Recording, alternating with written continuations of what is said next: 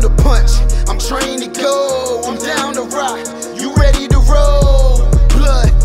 Yours truly, the People's Champ and the undisputed BKFC Bantamweight World Champion, Reggie, Mr. Educated Hands, Easy Barnett Jr. And I'm bringing it home to the 757. Make sure y'all come out. March 24th is going down. We turning this ice rink into a fighting scene. We trying to fill up this whole area. Norfolk Scope.